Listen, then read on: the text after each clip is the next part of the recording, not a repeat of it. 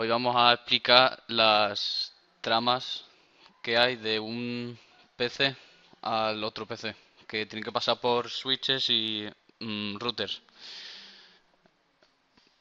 Primero vamos al, al PC1 y nos vamos al command...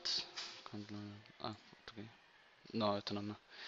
No más config... no, escritorio. Ah, escritorio. Ah, que está en español. Y nos vamos a línea de comandos en inglés, que sería em, command prop.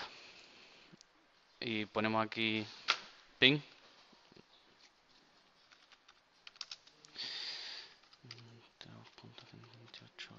punto cinco punto dos Y esa es la dirección de, del PC2. de este PC. ¿Vale? Entonces vamos a intentar mandar un paquete de aquí a aquí. Y vamos a ver cómo pasa por cada uno de los. Primero vamos a comprobar la conexión con un pin. Cuando te hace un pin, comprueba que está conectado. Si el pin te da que no, es Se repite varias veces. Fijaros que la primera, el primer pin da petición fuera de tiempo. Y ya la siguiente sí lo hace, tarda un poco en conectarse, ¿vale? Hace cuatro intentos y si no sale ninguna es que hay un fallo. Noelia, aquí, por favor. Ya, ya. Recibidos tres, perdidos uno. Si lo haces otra vez, seguramente no perderá ninguno. Lo repetimos. Porque ya se estableció la conexión. 132.168.5.2. Y mirando la pizarra, por favor, es que no está atento. Si está grabando un vídeo, entonces si usted no está atento y le tengo que llamar la atención, interrumpe el vídeo. Ahora se han mandado los cuatro, ha recibido los cuatro y no ha perdido ninguno. Y vale.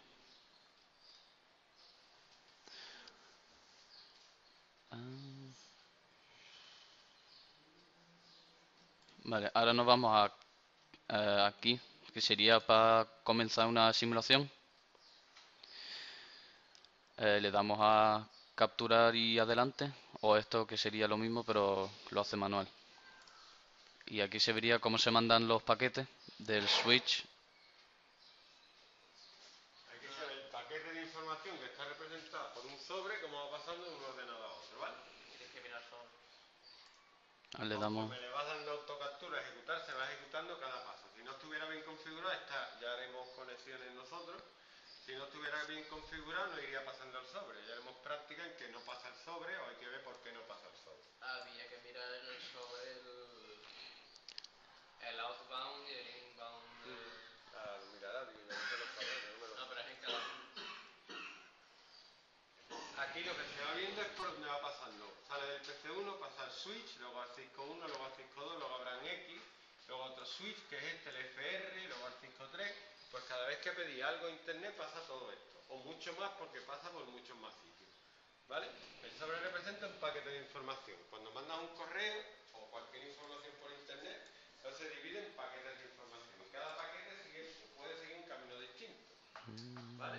El caso es que tiene que atravesar un montón de routers y switches hasta llegar.